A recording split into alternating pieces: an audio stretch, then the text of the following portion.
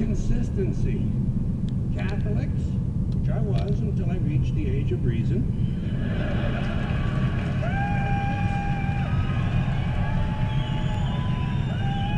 It's cool. We're pacing us. Uh, Catholics and other MD-80. Are against abortions and they're against.